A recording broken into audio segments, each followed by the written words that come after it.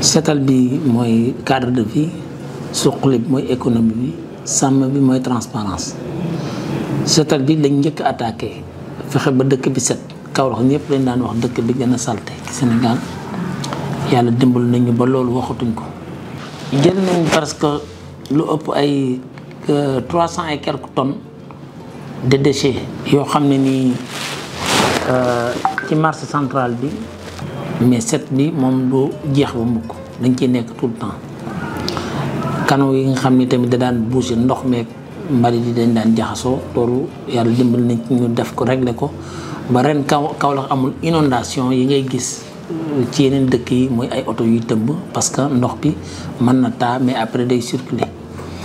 Kaolack yàlla dimbali ñu tamit ñu defar ba nga xam ne nii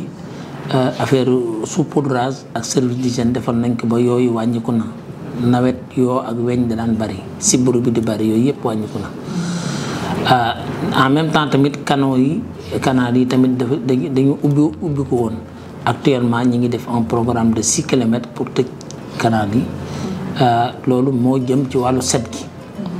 Euh, ci wàllu assainissement bi tamit ñu ngi defaat programme boo xam ni gouvernement bi moo am programme ndax assainissement du compétence transférée euh, ñoom ñi ngi def benn programme boo xam ne nii euh, mairie bi dana ci jàpp en même temps pour fexe ba nga xam ne ni Kaolack quartier yi nga xam ne ni amul assainissement yëpp danañ am assainissement. suñ dëkk bi ndox bi ni mu doon taa wàññeeku na ko. te moom bi muy jël campagne am loolu la woon quoi pour ndox bi. nawet bi inondation yëpp wàññeeku bu baax.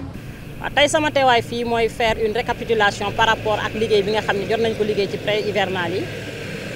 di njëkkee ci saupoudrage bi monsieur le maire avant chaque hivernage dina def benn activité de saupoudrage dans toute la commune de Kaolack lim ci jublu nag vraiment mooy euh, askanam euh, passé nawetu jàmm ak salaam parce que dina fexe